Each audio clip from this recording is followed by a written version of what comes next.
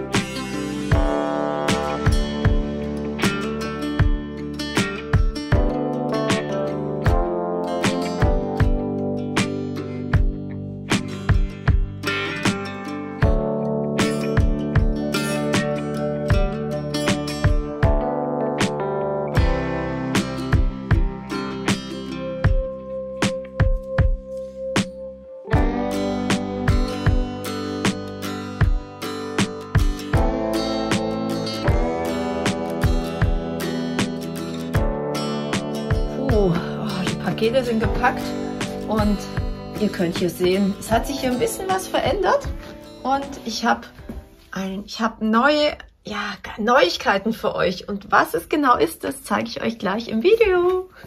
So, also endlich habe ich hier auch die letzten Päckchen. Das Auto ist wieder voll und ähm, heute geht es dann noch zur Post. Und da mein Kopf wieder voller Ideen ist, nehme ich euch wieder mit in meine kleine Flower Style bei Margit. Genau, ich kann mich spiegeln. in meine kleine, Idee, kleine Ideenschmiede und zeige euch mal meine neuen, ja, meine neuen Sachen, die ich auch verschicke. Und ich muss ja sagen, bisher hm, war es ja immer so, ihr habt mir gemailt und ich habe dann zurückgemailt, das ist meine Kontoverbindung und dann habt ihr überwiesen und ich habe das jetzt einfacher gemacht und ihr könnt gleichtägig ähm, einfach in meinem Online-Shop, da mache ich euch mal den Link rein, könnt ihr die Produkte anklicken, bezahlen und die gehen dann tatsächlich auch gleich raus. Und ich zeige euch hier gerade nebenher ja meine neuesten Errungenschaften. Das sind, die gab's schon mal in Creme und in Türkis. Das sind diese süßen Vogeltränken und die habe ich hier in einem Zweigering. Da mache ich euch schon mal den Link zum Online-Shop rein. Die gibt's jetzt im Moment in weiß und in grün. Ja, die, die habe ich auf jeden Fall im Shop drin. Was ich auch in meinem Shop habe und was ich ganz oft, oh, die sind falsch rum. Das sind meine süßen Hasen mit aus Mangoholz. Und die habe ich entweder nur pur, ohne den Zweigering, oder noch mit diesem Zweigering, in dem die ja so süß drin sitzen. Da ist jetzt nicht mal ein Teller drunter, aber das sind so echt goldige Kameraden. Und die habe ich auch schon ganz oft versendet, aber da gibt's auch noch viele und die könnt ihr auch in dem Shop auf jeden Fall bestellen. Hier habe ich ein Unikat. Das gibt's nur einmal da drin. Das ist ein ganz dickes, großes, ihr seht auch meine Hand, wie klein die ist dagegen. Das ist ein ganz dickes, großes Herz. Und man sieht auch, das haben wir hier so mit dem Schachtelhalm umrandet. Das hat so einen Reben, ja, einen Rebenkorpus, einen großen. Und das kann man hier mit diesem Alustab, kann man das auch wo reinstecken und dekorieren. Ähm, kann man theoretisch auch ein bisschen höher auch in den Vorgarten machen. Und das ist natürlich echt eine ganz zauberhafte Sache. Das gibt's nur einmal. Aber wenn weg, dann weg. Hier habe ich auch noch ein Unikat. Das ist dieses schöne Chinaschilf, dieser österliche Kranz mit Chinaschilf, äh, Wachteleier, Federn, Zweigen äh, mit diesem grünen Band. Der ist, der ist eigentlich grenzenlos haltbar. Das heißt, wenn man den sorgfältig wegpackt in eine Schachtel, dann kann man den im nächsten Jahr auch wieder verwenden. Ja, und dann kommen jetzt noch so ein paar neue Sachen im Online-Shop. Und ähm, ich äh, scheue ja keine Mühe. Und ihr seht hier, so sieht's hier jetzt so aus. Ich habe hier meine Lampe aufgebaut und ähm, ich muss jetzt erstmal das Handy aufhängen. Und dann zeige ich euch auf jeden Fall die neuesten Sachen. So, weiter geht's mit der Präsentation. Jetzt habe ich mich mal hübsch gemacht und habe extra hier mein Herz-T-Shirt. Herzen sind ja immer schön. Ja, und habe gedacht, ich äh, wollte eigentlich von Anfang an was Besonderes anziehen. Versuche ich immer, aber manchmal hat man so viele Sachen vor und dann geht es halt nicht immer. Ja, und wir haben heute, die Mitarbeiterin ist weg. Ich habe hier so richtig schön ähm, ja, die Bahn ist frei und ich kann hier ganz in Ruhe ähm, drehen. Und ich bin heute mal nicht an der Werkbank und äh, wollte euch einfach mal zeigen, was wir Schönes gemacht haben. Und das sind jetzt also auch Sachen, die meisten davon sind tatsächlich auch im Shop. Und hier haben wir zum Beispiel auch gemacht einen Mooskranz. Der ist mit einer Kala und ach schön, wenn man sich das so vor die Kamera halten kann. Der ist mit einer Color und da haben wir hier so ein gestepptes Band so lässig gemacht. Ein bisschen äh, Spinoza äh, und Schleierkraut und das ist eine Seidencolor. Ähm, man sollte es kaum meinen, weil auch die Kollegin oder auch eine Kundin hat gesagt, wie, die ist doch echt. Nein, die ist nicht echt. Ähm, und die ist wunderschön als Deko an, an diesen, ja, man kann es vielleicht vor meinem dunklen Sweatshirt erahnen. Ähm, die ist wunderschön, die, dieser Kranz ähm, vor, vor, auf einer dunklen Haustür vor allem. Und Moos hält ja auch ewig. Also das ist jetzt auch ein Kranz, den habe ich im Shop. Den gibt's auch nur fünfmal, ja, muss ich auch mal sagen, weil ich habe auch nicht unendlich von diesen schönen Sachen, aber ich, äh, den, den habe ich fünfmal drin. Der ist für 29 Euro.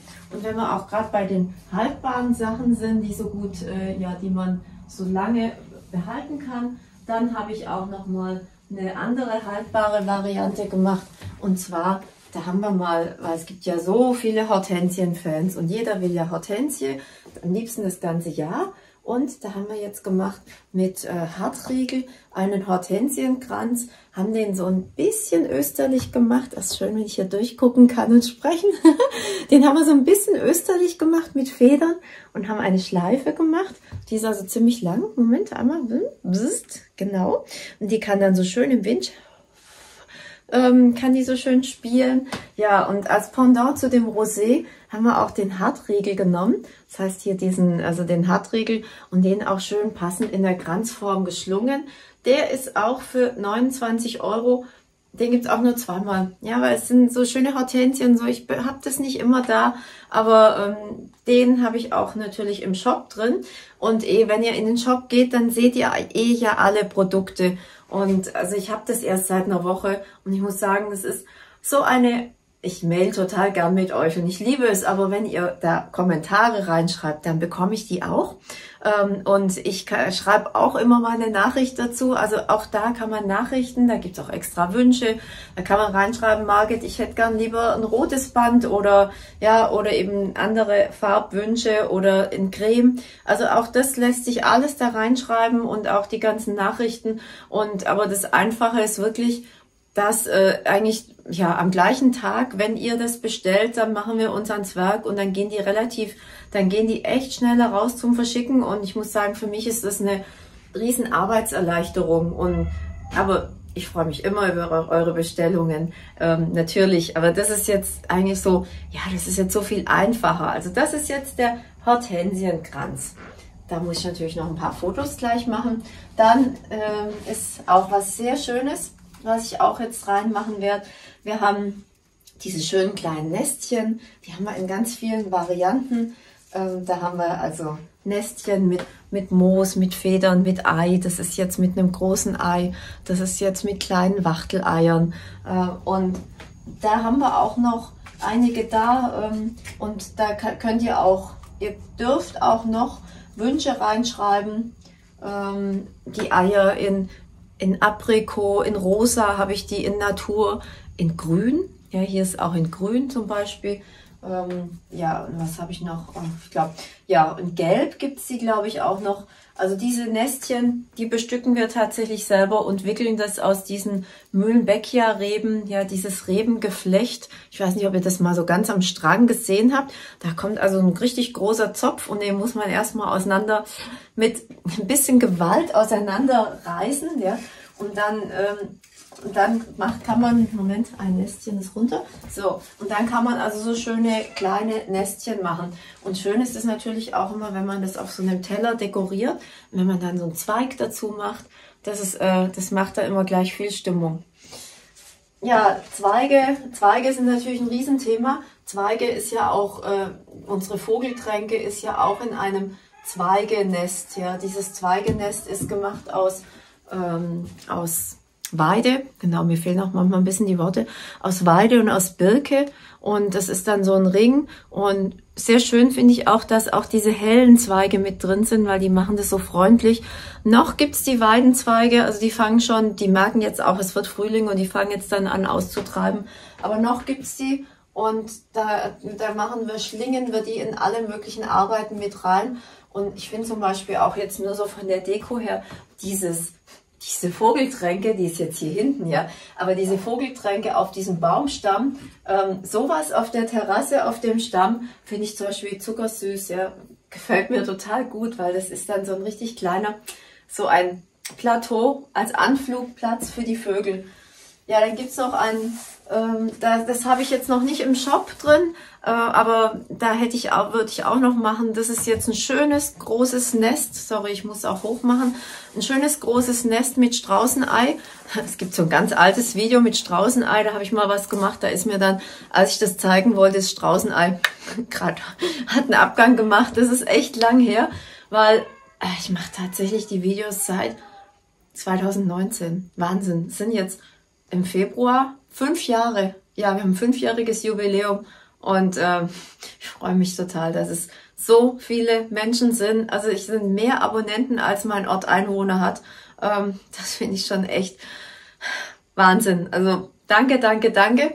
Ich freue mich super, super, super über eure vielen Nachrichten, über euren Zuspruch und über, ach, also was ihr alle schreibt und sagt und so. Es ist so total lieb. Ja, aber ja, also das ist jetzt auch das Nest mit Straußenei. Das kann ich auch noch mal reinmachen. Ähm, das ist auch mit Naturstraußenei. Das ist jetzt ein zartgrünes. Das äh, in dem zartgrün das gibt's nur einmal, aber ähm, gibt's auch in, mit Natur. Ähm, da ähm, entweder ihr schreibt mir eine Mail oder wie gesagt, das habe ich noch nicht ganz geschafft. Dann gibt es noch manche, die haben mir gemeldet, ach Margit, der schöne Korb. Wo bekomme ich diesen Korb? Und ich hätte ihn gern äh, ohne diese Kokosblätter, die Ohren vom letzten Video. Und da habe ich gerade eine E-Mail bekommen von einer ganz lieben YouTube-Zuschauerin, hat gesagt, ich hätte gern nur diesen Korb. Und habe ich gesagt, klar, kein Problem, ich habe den noch da. Äh, und auch bei diesen Körben, also das ist ja jetzt so eine wunderbar feste Flechtung, ja, die ist ja ganz, die hält super und die ist auch sehr, sehr, sehr witterungsbeständig. Und dann gibt's noch so ein kleines Geheimnis, weil wenn so Körbe, wenn man die ein paar Jahre, bisschen draußen hat, mal so ein, zwei, drei Jahre, dann werden die ja so ein bisschen poröser. Und was immer gut ist, ist, wenn man Klarlack hat zum Sprühen, ähm, äh, mache ich euch nochmal einen Bestelllink rein bei Floristik24 ähm, Klarlack sprühen, auf das Geflecht sprühen, also draußen, klar, ein bisschen Zeitung drunter und dann verschließt es die Poren und dann hält dieses Geflecht auch noch länger. Und das ist übrigens auch so ein gutes Thema, also wer immer auch sagt, ich möchte gern diese Grenze, ich finde es jetzt toll, ich möchte, ich möchte mir selber so ein gern machen. Dann könnt ihr mir auch eine E-Mail schreiben, könnt sagen, Margit, schick mir doch bitte die Zutaten, Strohrömer, Moos und was da eben so dabei ist. Wenn ihr so einen Kranz toll findet, ähm, bin ich auch immer völlig offen. Also für, für die fertigen Sachen, denke ich, ist der Online-Shop toll. Und wenn ihr sagt, oh, ich, ich, möchte eigentlich gar nicht immer die fertigen Sachen, sondern ähm, ich möchte eigentlich selber Hand anlegen, ähm, kein Problem. Auch das könnt ihr tun. Ähm, schreibt mir einfach und wir schicken euch die Zutaten. Und ansonsten gibt es natürlich immer viele, viele Basismaterialien. Ich drehe jetzt einfach mal den Kranz um. Dann sieht man auch zum Beispiel was an Basismaterialien. Das ist jetzt hier der Strohrömer ähm, den man braucht. Äh, für einen Türkranz ist immer ein 30er Strohrömer schön. Wenn ihr den kauft, ist der natürlich Stroh und roh äh, und gelb. ja, ähm, da ist der nicht so. Dann äh, bekommt ihr bei Floristik 24 das Kranzwickelband. Das ist immer schön, weil ich finde immer, ähm, ja, wenn ich das jetzt in die Hand nehme und da kommen die Strohhalme raus, dann ist es nicht so toll. Also da bekommt ihr die Strohrömer, da bekommt ihr das Kranzwickelband, da bekommt ihr den Draht was schön, dass das Licht so toll ist, ja, weil ich habe gedacht heute, ich mache jetzt perfektes Licht, wenn ich euch die Sachen zeige. Ja, und dann habt ihr eigentlich schon mal die Basis, dass ihr dann in die Natur gehen könnt und was sammeln könnt. Und das ist jetzt äh, nochmal, also der ist auch schon viel bestellt worden und äh, der kommt richtig gut an. Das ist jetzt der Buchskranz, der ist gewickelt mit Moos und mit äh, Schleierkraut. Das Schleierkraut, das haben wir, damit es gut hält, das haben wir ein bisschen angehaucht mit einem weißen Farbspray. Da gucke ich auch nochmal bei Floristik 24, weil wenn man das nicht macht, dann geht man das Risiko ein, dass es so ein bisschen braun wird und das ist nicht schön. Und wir wollten, dass es bei euch auch la richtig lang schön bleibt und deswegen hauchen wir das nochmal an, um das haltbar zu machen.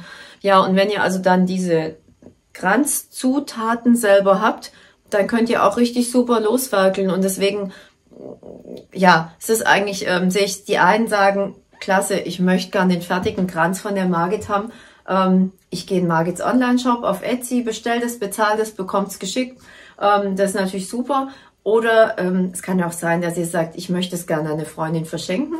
Dann schreibt es einfach rein und schreibt hier bitte, es ist ein Geschenk an Freundin. Hm, hm, hm. Ich pack's eh immer schön ein. Deswegen nochmal, ich schicke ich nachher nochmal ein Foto, wie das verpackt kommt. Ähm, aber dann bitte nochmal dazu schreiben. Ich hätte, äh, schick's bitte als Geschenk an äh, die und die Freundin oder schickt's mir nochmal extra als Nachricht. Und dann könnt ihr sowas natürlich ganz toll auch als Geschenk an andere versenden. Ähm, ja, das ist jetzt der Buchskranz, also den, da sind wir schon ein bisschen in Dauerschleife dabei. Ähm, wir haben, eine, eine weiße Band ist auch schon ausgegangen, also wir müssen mit den Bändern ein bisschen variieren. Aber so süß ist, dass das oben ist, das weiße Band, und dass das nochmal unten ist. Ja, also dass das, ähm, dass das auf beiden Seiten und auch mit Band ist immer so schön, dass das dann im Wind ein bisschen, äh, ja, so locker äh, im Wind schwingt, ja, äh, und das ist also auch ein sehr, sehr schöner Frühlingskranz. Und selbst wenn der Buchs eintrocknet, dann wird er ja beige. Und ähm, ich finde, dass auch wenn das Moos dann noch so ein bisschen naturfarben ist, selbst trocken wäre dieser Kranz immer noch ein Hingucker und wäre der richtig schön. Also der hält ganz, ganz toll. Ja, das ist noch der Buchskranz. Und dann habe ich noch einen letzten. Ich komme gleich. So, dann habe ich noch einen letzten Kranz, den ich euch zeigen wollte. Und dann habe ich eigentlich, genau, dann habe ich meine Schönheiten für heute gezeigt, was aber nicht heißt, dass ich nicht schon wieder in meinem Kopf sind schon wieder, es ist schon wieder am Brodeln, ja. Ich habe schon wieder ganz, ganz, ganz viele Ideen. Ähm, aber das Thema Moosgrenze äh, und diese natürlich gestalten, das hat mich schon so die Tage beschäftigt und dann dachte ich so, hm, dies, das würde ich doch gern in den Online-Shop einstellen. Und hier ich sage euch auch mal einfach, was man alles dazu braucht. Das ist jetzt ein Strohrömer und den haben wir nicht mit Kranzwickelband abgewickelt, weil hier kann man natürlich, weil man das Moos, Moment, der dreht sich, während ich ihn halt, so, da kann man natürlich das Moos direkt auf den Strohrömer wickeln, klar, weil er wird ja ganz zugewickelt. Und äh, da haben wir einfach um das, um dieses Natürliche zu behalten, ähm, wir haben ein bisschen Olive genommen, ein bisschen, das ist jetzt äh, wilder Thymian, der hier reingewickelt ist. Olive, ja. Olive trocknet sehr, sehr schön an. Äh, die Blätter ringeln sich eigentlich nur so ein bisschen ein, aber Olive ist ganz toll. Und da so was Spielerisches dabei ist, haben wir eine Korkenzieher-Haselnuss ähm, hier hochlaufen lassen, haben die mit äh, Krampen, also mit äh, Haft, wie heißen die? Nicht Efeunadeln, äh, ähm, fällt mir noch ein. Ich schreib's rein. ja, haben das auf jeden Fall festgekrampt. Also nicht geklebt, sondern gekrampt. Das hält besser im Strohrömer. Haben dann ein paar kleine Birkenherzen genommen. Hier noch ein großes Birkenherz drauf. Und haben einfach dieses Band ganz lässig mal über, mal unter die Olivenstiele gewickelt. Und schon ist der, dieser, auch dieser Kranz fertig. Und ähm, den fand ich auch sehr, ja, der ist so zeitlos. Den kann man natürlich auch nach Ostern hängen lassen. Und also ich habe jetzt wirklich so teils österliche Sachen, aber auch teils Sachen, wo ihr sagt, das hänge ich mir an die Tür oder, oder wenn ihr, wenn ihr das auf den Tisch machen wollt, eine schöne Kerze rein, eine richtig schöne dicke Kerze, ähm, ist auch was Tolles und ist auch ein wunderschönes Geschenk. Äh, also ist auch was, was eben auch nach Ostern einfach noch toll ist. Und das ist auch so mein Fokus, ähm, viel Natur und ähm, einfach so neutral und von den Farben her, ich glaube, es passt einfach überall hin.